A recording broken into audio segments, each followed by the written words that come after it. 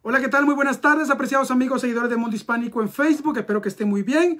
Este es su reportero Mario Guevara, como siempre, dándole noticias, información de muchísimo interés para toda nuestra comunidad. Hacía día que no nos conectábamos, tuvimos un par de días libres, pero bueno, aquí estamos de regreso.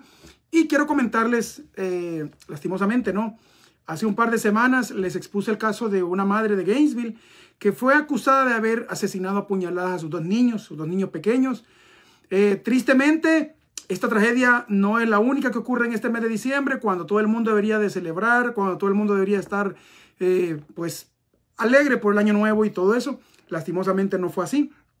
En Augusta acaba de pasar un incidente muy violento.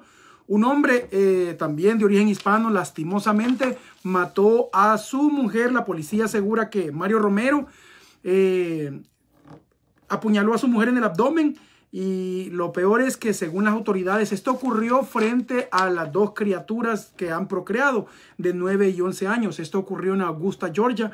Eh, este hombre, ¿verdad? Según la policía, tras cometer el crimen, este hombre se dio a la fuga en su camioneta Silverado, pero fue arrestado.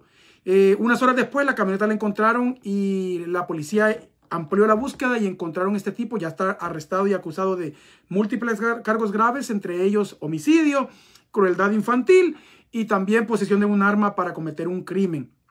Eh, la policía asegura que eh, los niños, el hecho de haber presenciado semejante acto tan cruel de cómo ver cómo asesinaban a su mamá, eh, los va a marcar de por vida y es un daño irreparable. Pero no es el único caso. Justamente la madrugada del 26 de, de diciembre, apenas hace un par de días, días después de la Navidad, eh, Jorge Maya también dice la policía que él mató a su pareja, una mujer de tan solo 27 años de edad, la asesinó de un tiro. Y se refiere a este hombre. Esto ocurrió en Durham, estado de Carolina del Norte. Este hombre ahora mismo es buscado por la policía. Eh, se le considera armado y peligroso. Si usted sabe de su paradero, eh, las autoridades piden no confrontarlo, sino que llamar de inmediato al 911 y hacer una denuncia para que puedan capturarlo. Todo indica, ¿verdad?, que se, dieron discusiones muy acaloradas. Estas discusiones se tornaron más violentas. Al final acabaron con la vida de dos mujeres. Muy triste historias, muy lamentable. Eh, vaya, qué celebración de Año Nuevo la que les espera a estas familias eh, de luto, ¿no?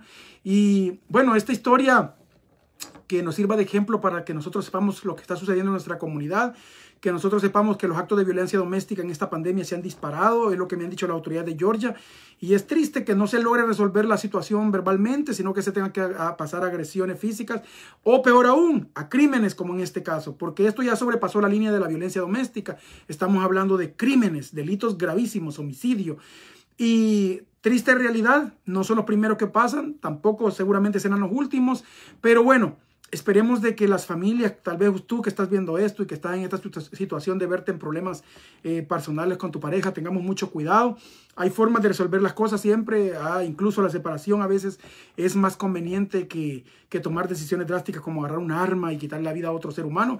Peor aún si se trata de una persona llegada a uno, la esposa, eh, la madre de nuestros hijos.